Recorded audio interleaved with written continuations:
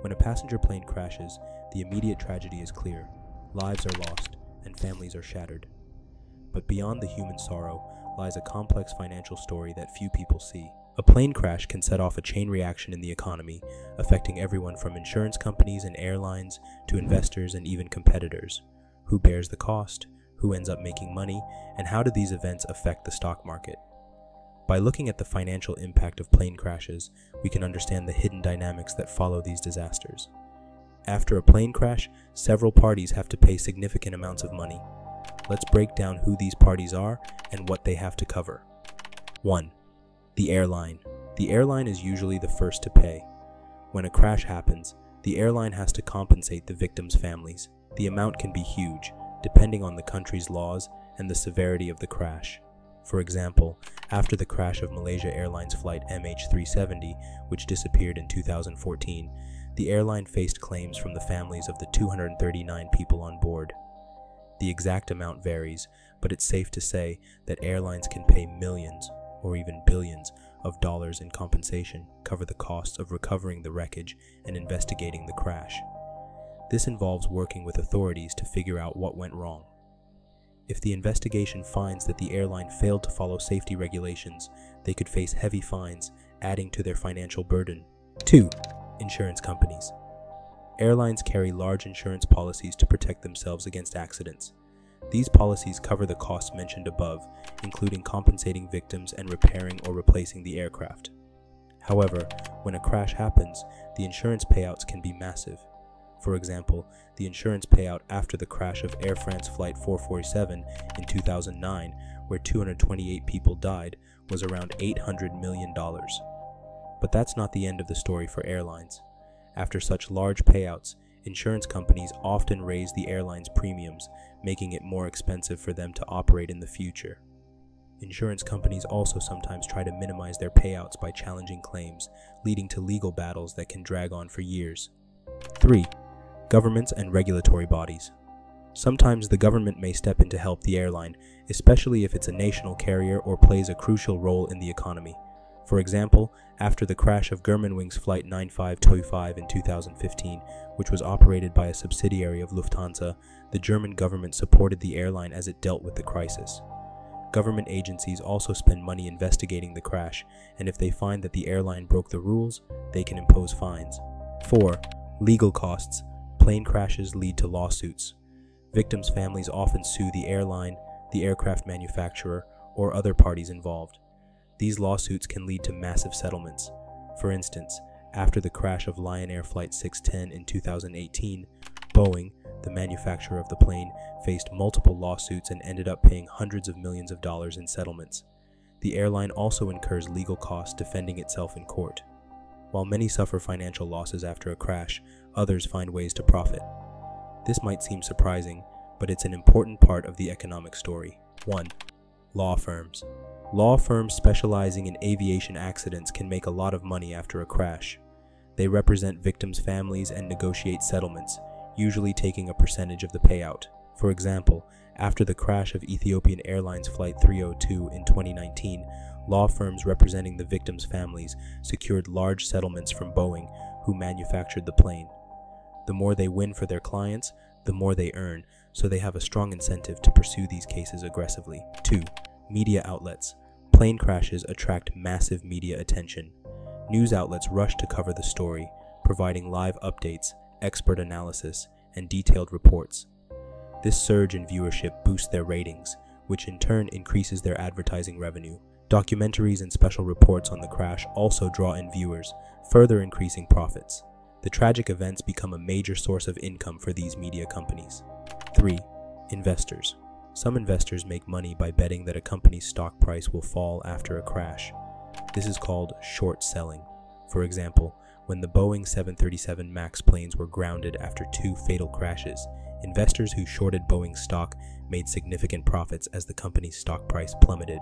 Other investors might take the opposite approach, buying the airlines or manufacturer's stock at a low price, betting that it will eventually recover. This is risky, but it can pay off big if the company rebounds. After the crash of AirAsia Flight 8501 in 2014, for instance, some investors bought AirAsia shares at a low price, and those shares eventually increased in value as the airline recovered. 4. Competitors. Competitors of the airline involved in the crash may benefit as passengers lose confidence in the airline that experienced the disaster. This was evident after the crash of Malaysia Airlines flight MH17 in 2014. Other airlines flying similar routes saw an increase in bookings as travelers chose them over Malaysia Airlines. The crash damaged Malaysia Airlines' reputation, leading to financial struggles, while competitors gained market share. One of the most immediate effects of a plane crash is its impact on the stock prices of the airline and, in some cases, the aircraft manufacturer. The reaction from the stock market is usually swift and severe. 1. Initial drop. When a plane crash happens, the airline's stock price usually drops sharply. This happened with Boeing after the crashes of Lion Air Flight 610 and Ethiopian Airlines Flight 302, both involving their 737 MAX aircraft. Boeing's stock lost more than 10% of its value in the weeks following the second crash, wiping out billions of dollars in market value.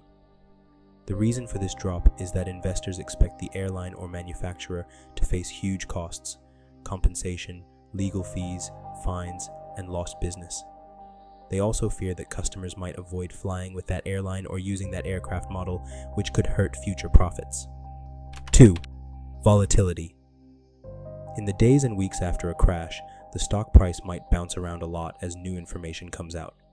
For example, if investigators find that the crash was due to pilot error rather than a mechanical problem, the stock might recover some of its lost value. On the other hand, if the investigation reveals a deeper issue, like a design flaw in the aircraft, the stock might fall further. This volatility creates opportunities for investors who are willing to take risks. Some might buy the stock at a low point, hoping that it will rebound, while others might continue short selling if they believe the company's troubles are far from over. 3. Long term effects.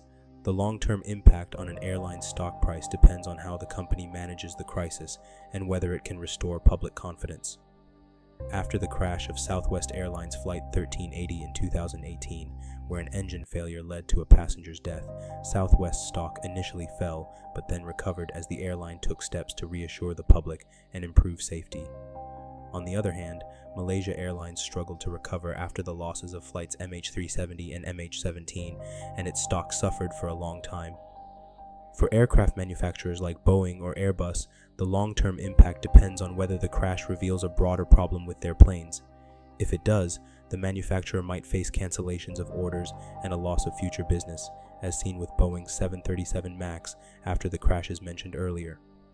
Boeing had to ground the entire fleet of 737 MAX aircraft, costing the company billions in lost revenue and legal settlements. 4.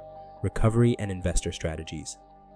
Despite the initial shock, some investors see opportunities to profit in the aftermath of a crash. If they believe the airline or manufacturer will recover, they might buy shares at a low price, betting on a future rebound. This strategy paid off for some investors after the crash of Air France Flight 447 in 2009. The airline's stock fell immediately after the crash, but eventually recovered as the company managed the crisis and improved its safety protocols. However, this strategy is not without risks. If the airline or manufacturer fails to recover or faces additional problems, the stock might never return to its previous levels, leading to losses for investors who bet on a rebound. The effects of a plane crash don't end with the immediate financial losses and stock market reactions. The long term economic consequences can be far reaching, affecting everything from regulations to consumer behavior. 1. Regulatory changes. Plane crashes often lead to new regulations aimed at preventing similar incidents in the future. These regulations can be costly for airlines and manufacturers, for example, after the crash of TWA Flight 800 in 1996, where a fuel tank explosion caused the plane to crash, killing all 230 people on board, the FAA introduced new rules requiring changes to the design of fuel tanks in commercial aircraft. Implementing these changes cost airlines and manufacturers millions of dollars. While these regulations improve safety, they also increase operating costs. Airlines may need to invest in new technology, upgrade their fleets, or retrain their staff, all of which can be expensive. Smaller airlines, in particular, may struggle to meet these new requirements, leading to industry consolidation as they are acquired by larger, more financially stable competitors. 2. Impact on consumer confidence. A plane crash can shake public confidence in the airline involved, especially if the incident is widely publicized. This loss of confidence can lead to a drop in bookings, hurting the airline's revenue. For example, after the crash of Asiana Airlines Flight 214 in 2013, where the plane crashed on landing in San Francisco, killing three passengers, the airline saw a significant drop in ticket sales as passengers chose other airlines. Sometimes, a series of crashes or safety incidents can lead to a broader loss of confidence in air travel.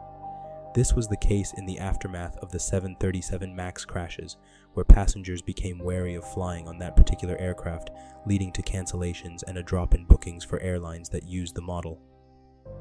3. Shifts in market dynamics. Plane crashes can also change the competitive landscape of the airline industry. If an airline involved in a crash struggles to recover, its competitors may gain market share.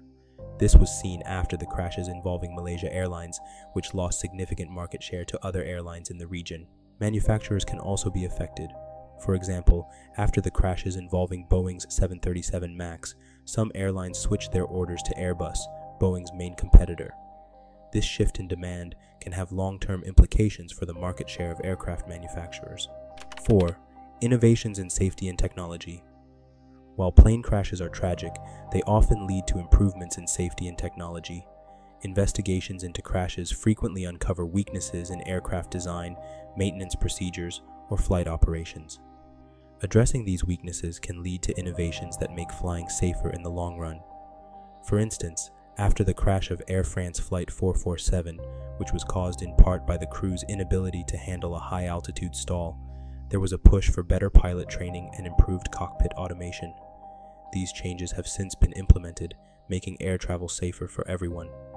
Aircraft manufacturers and airlines that invest in these innovations can gain a competitive edge, attracting customers who value safety. Over time, these improvements can lead to a stronger, more resilient aviation industry. A plane crash is a tragic event, but it's also a complex financial situation that affects many different parts of the economy airlines, insurance companies, governments, and victims' families all face significant costs, while law firms, media outlets, and some investors may find ways to profit. The stock market reacts quickly to these disasters, with the airlines and manufacturers' stock prices often taking a hit, followed by a period of volatility.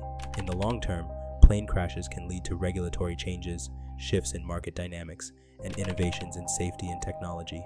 Understanding these financial dynamics is important not just for those in the aviation industry, but for anyone interested in how major events can ripple through the economy. By looking at who pays and who profits after a plane crash, we can gain insight into the hidden economic forces at play when disaster strikes at 30,000 feet.